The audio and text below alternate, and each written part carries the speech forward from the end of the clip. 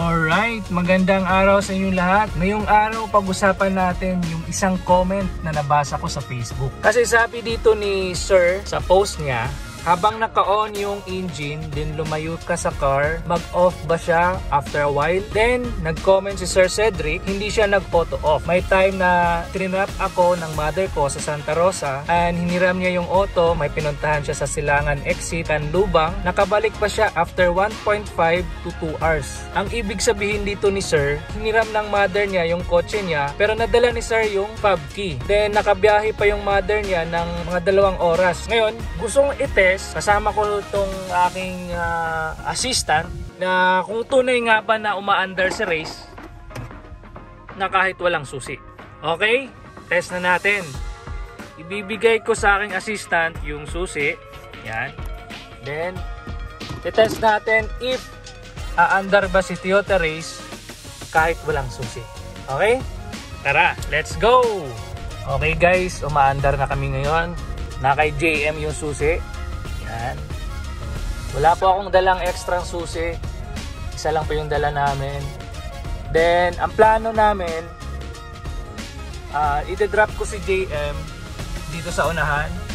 Then, susubukan kong uh, tumakbo. Okay, ide-drop ko na po si JM dito. Dala niya po yung susi.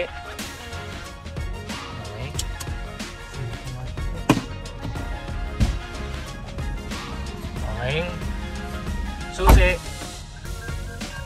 Yan guys. Uh, nag-detect na po siya na walang susi. Kasi nga, dala ni JM yung susi. Pero, umaandar pa rin yung sasakyan. Umaandar pa rin yung sasakyan. Wow. Ibig sabihin, pwede pang manakaw yung sasakyan. Yan. Yung odo natin, 6, 7, 1-0 So talagang totoo pala talaga yung comment ni sir na umaandar si race kahit wala yung susi. Yan.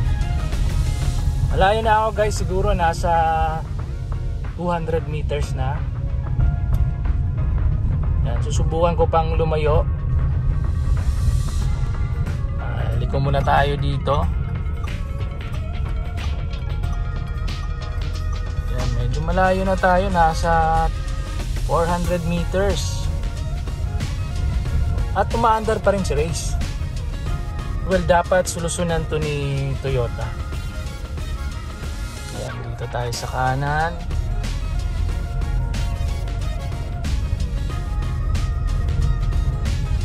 Same pa rin walang pinagbago parang andito lang yung susi.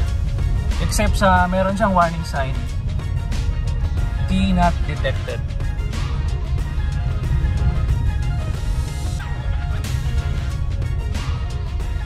Ah, dito naman tayo sa kanan. Fast forward ko lang guys.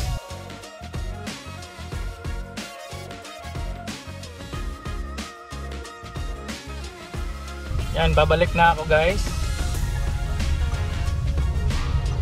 Pabalik na ako sa lugar kung nasan si JM. Bali, naka 1 kilometer na tayo. 6711 na yung odometer natin. At umaandar pa rin si race.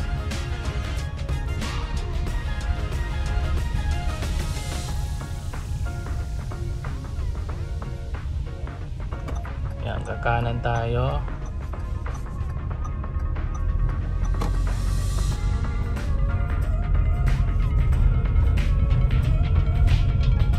Diyan na si JM. Dala niya yung susi.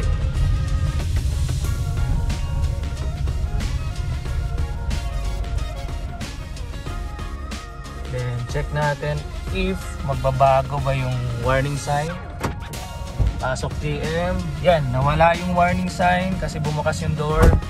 At nawala ng tuluyan yung warning sign dun sa susi. So yun nga guys, totoo palang umaandar si race kahit walang susi. Okay? Basta nakaandar na siya, pwede mo siyang patakbuhin kahit wala ng susi. Okay? Maraming salamat po sa panonood. Please subscribe po.